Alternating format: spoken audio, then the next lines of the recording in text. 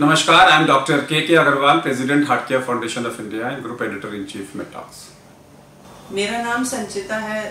संचिता शब्द का अर्थ क्या है? से कई सारे मतलब निकल सकते हैं लेकिन जो मतलब मैं बोलना चाहूँगा वो कर्मों से जोड़ना चाहूँगा।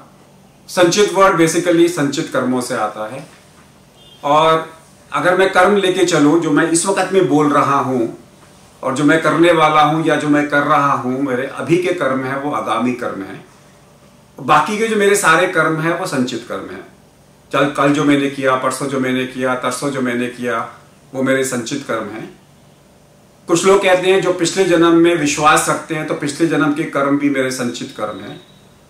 और जो लोग रीबर्थ में विश्वास रखते हैं, उसके हिसाब से पिछले जन्म के मेरे मृत्यु के समय में मैं जो भी था या थी उस समय में जो मेरे डेट्स थे कर्मों के, यानी कि मैंने जो कर्म निभाए और जो कर्म मेरे भोगने बाकी थे।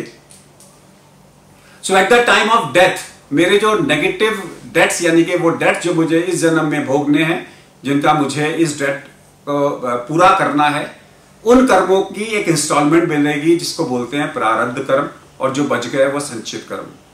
Therefore at the time of my death I will carry with me my sanchit karma along with a portion called prarabdh karma in the form of an installment of a bank. तो इस जन्म में मुझे प्रारब्ध कर्म तो भोगने ही है। और संचित कर्म मेरा इस लाइक इस लाइक मेरा basic money in the bank कि अगर मैंने नहीं भी दिया तो आगे, अगले जन्म में देना पड़ेगा। तो लोग कहते हैं कि अगर मैं प्रारब्ध कर्मों के लिए ही पैदा हुआ हूँ तो फिर मुझे अच्छे काम करने की ज़रूरत क्या है? मुझे दुख तो भोगने ही पड़ेंगे।